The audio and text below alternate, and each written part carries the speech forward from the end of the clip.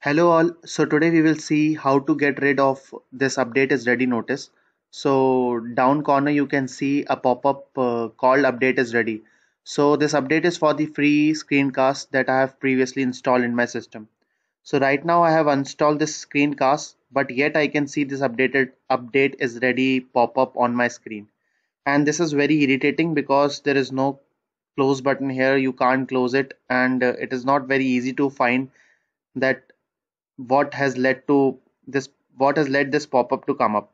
And it just come up and it won't go. So even if you restart your system it won't go. So how to get rid of this?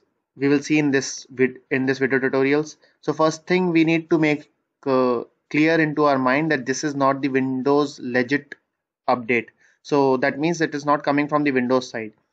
So because we have installed some freeware from the internet uh, there would be some update associated with that uh, link because of which this pop-up is coming and it's asking us to update even though we have removed it from the installation.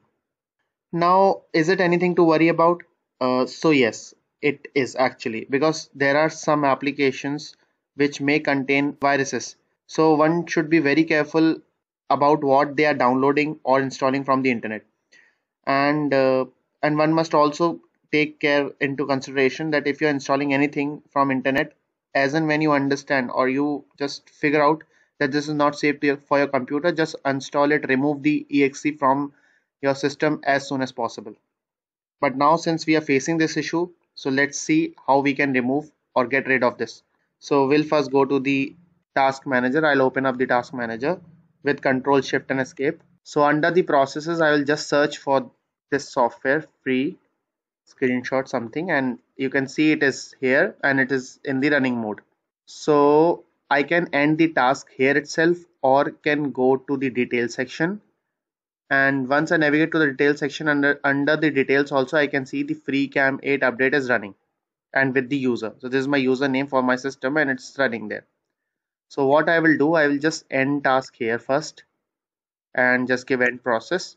And you can see the pop-up now went and under the process also I'll just re-verify whether it has gone or it is still there. So so now I can't see uh, that process running into my uh, this task manager. So what I can do now is I need to see because that exe that uh, update exe is already in my system. Though I have removed it from the task manager but it's still in my system so I need to remove it from the system. So what I need to do is I need to start the explorer and will go to the place where this exe is present. So mostly it would be present under my PC C drive and I'll go to the program files x686 and under that I'll just search for this free something. So I can see this free free screencast. So under this free screencast you can see the free screencast update.exe so because of this update I was getting this pop-up. So even though I have stopped it from the uh, task manager but yet I can but yet it will pop up again after some time. So what I'll be doing is I'll just move one folder back and will delete this folder permanently.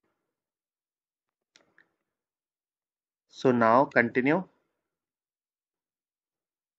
And I'll delete this whole folder.